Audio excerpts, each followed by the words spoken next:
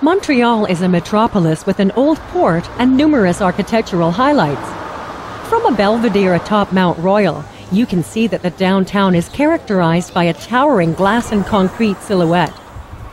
The population of around 3.5 million people from 80 different ethnic groups with charming neighborhoods nestled around the elegant skyscrapers. The cross atop Mount Royal is a beacon, and the Olympic Stadium is another icon. Although bilingual with English, Montreal is the largest French speaking city in the world after Paris.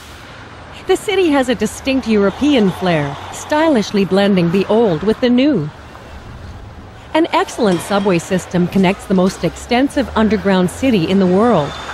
The subway joins over 2,000 shops and restaurants via an 18 mile network of tunnels and indoor plazas.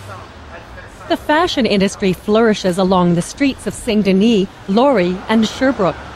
Designer boutiques take their place alongside Canadian designers in this multi ethnic crossroads that also has great markets. Are they the sweet? Good strawberries. You can't visit Montreal without sampling a bagel or dropping by the famed Church of Brother Andre.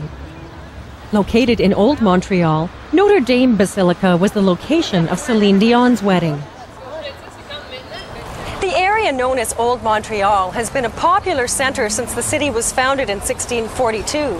What's been preserved of the area is a remarkable testimony to all of the bygone eras, and visitors just love to bask in the history and romance of the shops and sidewalk cafes. The square here is alive with artisans. It was built in the first half of the 1800s and continues to be a meeting place for diverse peoples.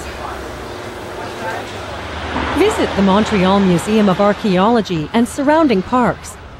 Grand Victorian homes and quaint ethnic districts bring character to a city that likes to play outdoors and was named the number one city in North America for cycling. With an ideal situation on the St. Lawrence River, boat tours give passengers an original encounter with the history and geography of Montreal.